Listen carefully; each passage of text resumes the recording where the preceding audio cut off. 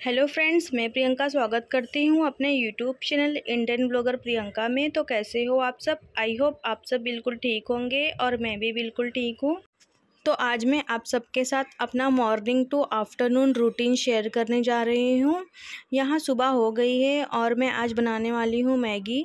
वैसे तो मैगी हम नॉर्मली जो है वो पानी में उबाल कर ही बनाते हैं बट यहाँ जो है मैं कुछ अलग तरीके से मैगी बना रही हूँ। तो मैंने पहले मैगी को उबाल दिया है पानी में और फिर उसे छान लिया है। अब मैंने यहाँ पर कढ़ाई में तेल डालकर उसमें प्याज और मिर्च जो है वो भुनने को डाल दी है। अब मैं इसमें डालूँगी टमाटर और शिमला मिर्ची। उसे मैं अच्छी तरीके से भून लूँगी। उसके बाद में इसमें जो मैगी मसाला होता है वो मैं इसमें डालूँगी। इसमें मैं थोड़ा नमक और हल्दी पाउडर भी मिलाऊँगी। और नमक मैं इसमें थोड़ा सा यूज़ कर रही हूँ, क्योंकि जो मैगी मसाला होता है, उसमें ऑलरेडी नमक मिला हुआ रहता है तो इसमें नमक थोड़ा सा ही डालूँगी मैं। फिर अच्छी तरीके से इसे मसाले में भून लूँगी।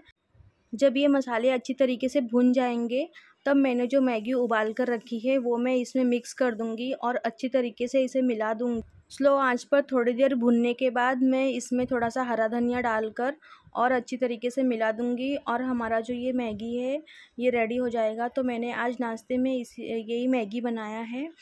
तो अब मैं आपको ये निकाल कर दिखाती हूँ। बहुत ही खिली खिली मैगी बनती है, अगर आप ऐसा बनाओगे तो। तो मैं जब भी अपना नाश्ता बनाती हूँ तो मैगी अगर मुझे बनाना रहता है तो मैं इसी तरीके से बनाती हूँ। सबको बहुत पसंद आती है।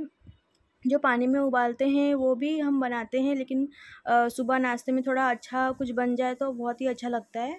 तो ये देखिए मैगी कितनी अच्छी बनी है।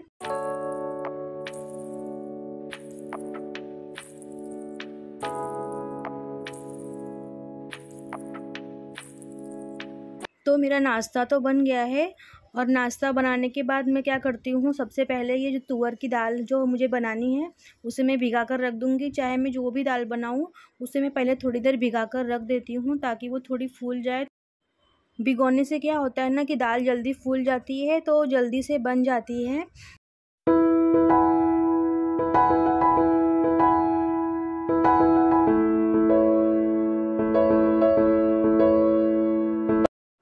तो मैंने अब दाल भिगा दिया है। अब मैं यहाँ पे चाय निकाल रही हूँ। तो एक गिलास मैं अपने लिए निकाल रही हूँ और एक गिलास मेरी जो सास है उनके लिए निकाल रही हूँ।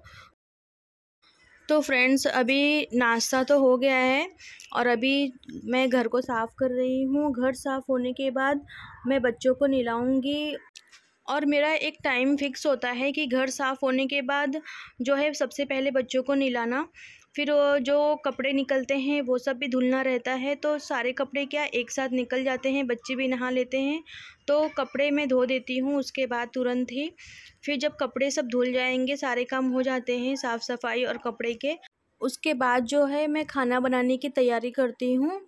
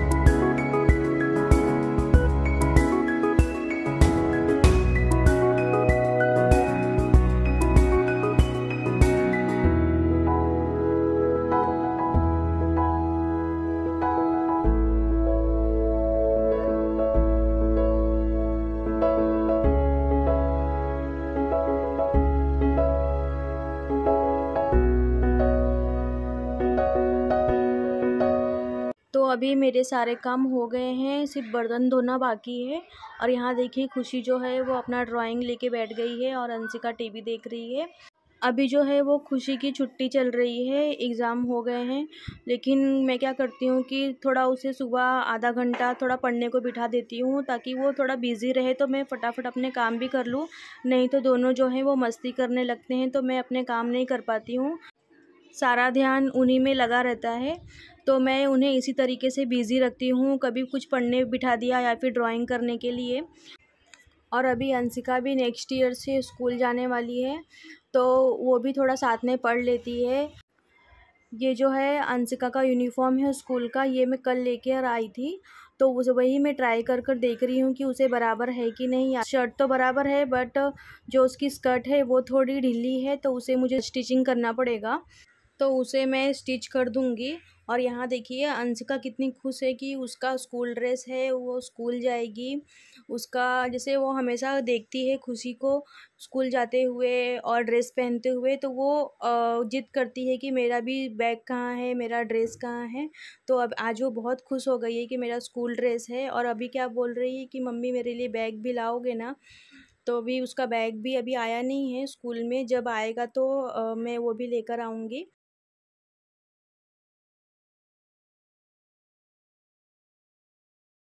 तो फ्रेंड्स, अभी दोपहर के दो बज गए हैं और बच्चों को मैंने खाना दे दिया है और अब हम खाना खाएँगे। खाना होने के बाद मैं बच्चों को सुला दूँगी ताकि दोपहर में वो दो घंटा सो जाएँ। तो फ्रेंड्स, मेरा आज का ये वीडियो बस इतना ही। आई होप आपको मेरा वीडियो पसंद आया होगा। अगर पसंद आए तो प्लीज़ मेरे वीडियो को लाइक करिए, मेरे चैनल को सब्सक्राइब करिए। तो मिलते हैं अपने नेक्स्ट ब्लॉग में। तब तक के लिए अपना बहुत सारा ख्याल रखिए, अपने परिवार का ख्याल रखिए। Take care bye bye